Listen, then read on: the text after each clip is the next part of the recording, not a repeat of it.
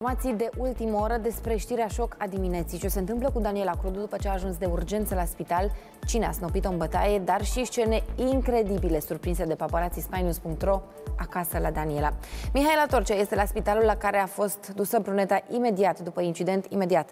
Uh, ne ducem uh, la colega mea pentru a afla detaliile de ultimă oră. Vreau întâi să salut invitatele cu care discutăm acest uh, subiect. Loredana Latiș, bine ai venit la Star Magazine și Alia, bine ai venit și tu, Alia. Haideți să mergem acum, așa cum spuneam, la spitalul unde a fost dusă Daniela Crudu după incidentul șocant, incidentul care a șocat întreaga țară. Mihaela, bine te-am regăsit. Ce informații ai? E bine acum? Bun găsit, Laura! În această dimineață, la ora 5 și 30 de minute, Daniela Crudu a sunat la 112 și afirma că este agresată fizic de iubitul ei. În momentul în care oamenii legii s-au deplasat la fața locului, au constatat că cele uh, spuse de Daniela erau adevărate. Însă, în momentul în care uh, i-au spus că poate face plângere penală împotriva acestuia, uh, vedeta a refuzat, însă a acceptat să fie adusă la spital. Până în acest moment, oamenii legii au emis un ordin de protecție provizoriu, valabil pentru 5 zile și continuă cercetările pentru săvârșirea infracțiunii de răviri și alte violențe. În momentul în care Daniela a ajuns la spital, era însoțită de o prietenă, însă imediat, la câteva minute, a ajuns și iubitul acestuia, care era la rândul lui însoțit de un prieten. Era destul de nervos și amenința pe toată lumea din, din jurul lui. În momentul în care medici au consultat-o pe Daniela, au constatat că are uh, traumatism craniocerebral, care are piramida nazală ruptă, întorsă, dar și lovituri în jurul uh, abdomenului. Uh, după, se pare că după câteva ore medicii au lăsat-o pe Daniela să plece acasă și s-ar părea pentru că durerile erau destul de mari, uh, Daniela s-a întors aici la spital și a fost operată de urgență, iar în urmă cu uh, doar o oră, două maximum, se pare că Daniela a fost transferată la un uh, spital privat privat. Din primele informații pe care le, le avem, se pare că acest scandal a pornit uh, din cauza unei, unei sume foarte mari de bani pe care iubitul Danielei ar fi lăsat în apartamentul acesteia înainte de a pleca în străinătate, iar în momentul în care s-a întors în țară a constatat că Daniela cheltuise toți banii și atunci a început să fie uh, violent și agresiv cu ea. Laura, acestea au fost informațiile înapoi la tine. Mulțumesc că, Mihaela, bineînțeles, echipa Antena Stars rămâne acolo și ne ține la curent cu tot ce se întâmplă. Sunt informații de ultimă oră, așa cum spuneam, sunt informații uh, la cald și detaliile continuă să vină. Alia, am văzut, a fost și reacția noastră, îți făceai cruce în timp ce o ascultai da, uh, pe colega noastră.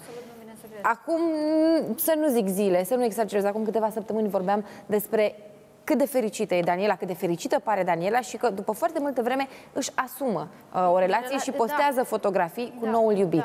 Da. Uh, îi spunem presupus agresor în momentul uh, de față. Cum vezi tu situația? Foarte dramatică. Ce, adică faptul că ea a ajuns snopită în bătaie la, la uh, indiferent că am înțeles că ar fi fost discuția despre bani, indiferent ce ar fi fost, nu poți să agresezi un om în halul acesta, adică, Doamne ferește să ajungă la operație, adică e ceva foarte grav.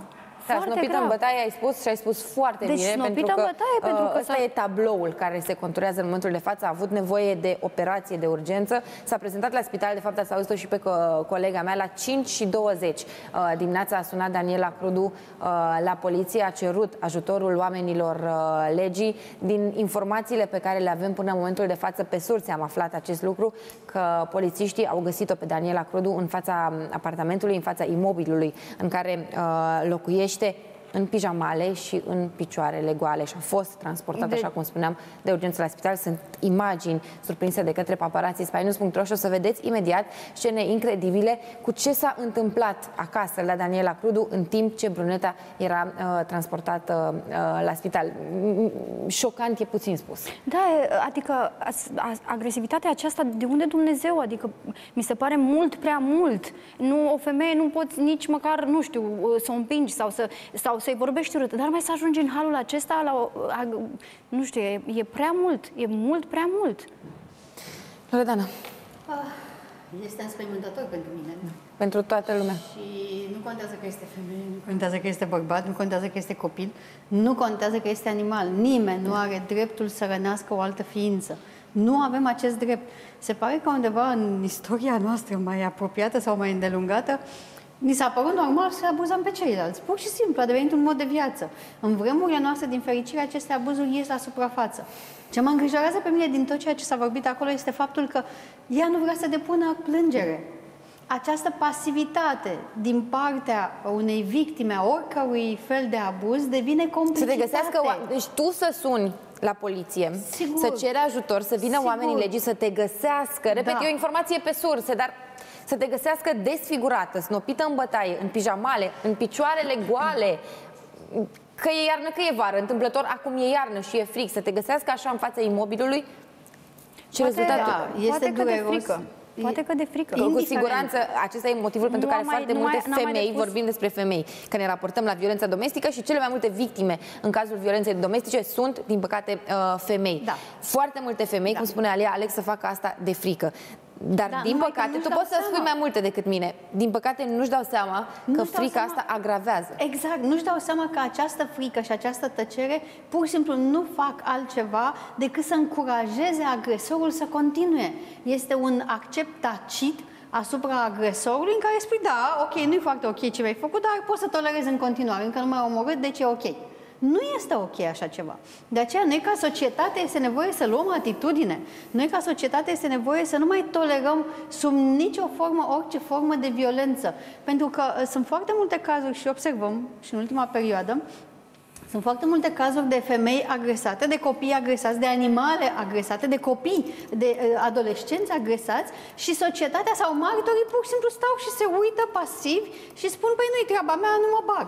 Ok, nu zice nimeni să te duci acolo să te bagi, dar măcar să ții la agresor, măcar să suni imediat, să anunți, vezi că sunt la poliție, vezi că fac ceva. Adică o, o, o cum să zic, o implicare, pur și simplu prin pasivitatea noastră a tuturor, tolerăm astfel de comportamente, pur și simplu prin pasivitatea victimelor de a le denunța, uh, agresorul înțelege că e absolut ok și a pierdut un pic cumpătul, nu o să se mai repete, o să urmeze probabil o perioadă de flori, de îmbrățișări, de vine Valentine's Day și nu știu Cine ce. face odată o mai mare face cu abureală. siguranță. Adică cine, cine odată ce s-a Absolut. ajuns la așa ceva, cu siguranță se va mai Absolut. Și ajunge. nu mai e vorba de iubire. Aici Da. oamenii confundă foarte des. Păi mă iubește. Nimeni în lumea asta care iubește un om, o animal, o, o, o, un animal, o plantă, nu poate să le facă rău. Ca să ne înțelegem, iubirea cu a face rău cuiva nu există.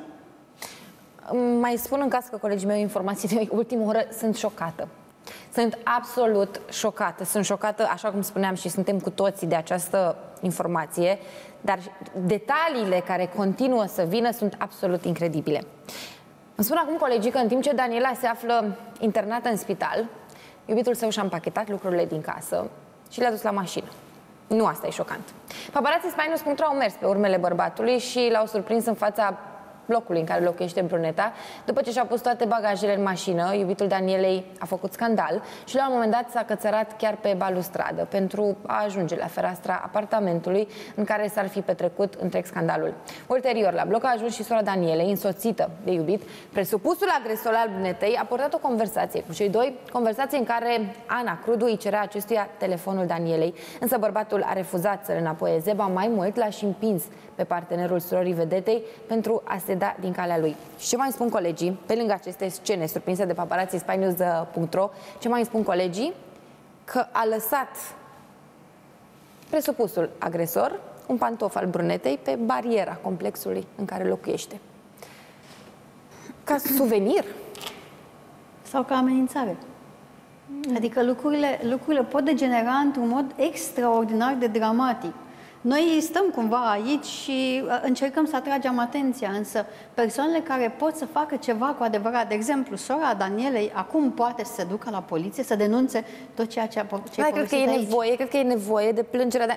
Haideți să sunăm, vă rog, uh, un avocat să ne lămurim, pentru că se vorbește despre Corect. un Da, ordin de corect, protecție provizoriu de 5 uh, zile. Foarte bine. Și sunt foarte curioasă, nu cunosc în detaliu legislația, cine poate uh, uh, să depună plângere dacă nu o face uh, Daniela, ce se întâmplă cu presupusul agresor dacă Daniela uh, nu, depune, nu depune plângere. Am mai văzut situații Ar fi bine și... să știm și de ce ea nu vrea să depună plângere într-o chestie atât de gravă. Absolut. Adică este foarte importantă și părerea ei vis-a-vis de tot ceea ce s-a întâmplat. Vă întrebam de ah, motivul care se vehiculează um, pentru care Daniel ar fi fost snopită în bătaie, lipsa unei sume de lipsa unei sume mari de bani, unei sume mari, unei sume mici.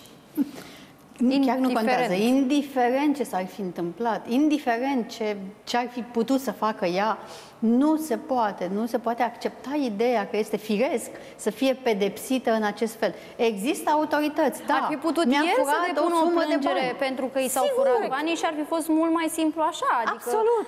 Sigur, și mult mai civilizat și mult mai uh, etic și mult mai politicos față de viața omului din fața ta. Nimeni nu are niciun drept să se atingă de un flic de păr al, al cuiva, indiferent de motiv. Și de situație, da. Sigur că da, adică să nu zicem, a, da, a avut o scuză, a avut o explicație, nu a făcut nicio mare grozăvie, că uite, a furat banii, că uite, ea face drege, nu știu ce, și așa mai departe. Nu, exclus să intrăm în, acel, în asemenea film. Orice om întreg la minte de pe acest pământ este nevoie să înțeleagă că nu, nu este ok să acceptăm și să tolerăm la nivel de societate, la nivel de om, la nivel de orice ființă umană, abuzul unui om asupra altei ființe umane, indiferent de o, o milion de explicații care ar putea Din fi. păcate, noi trăim acum într-o societate în care suntem patronați de această idee de bani.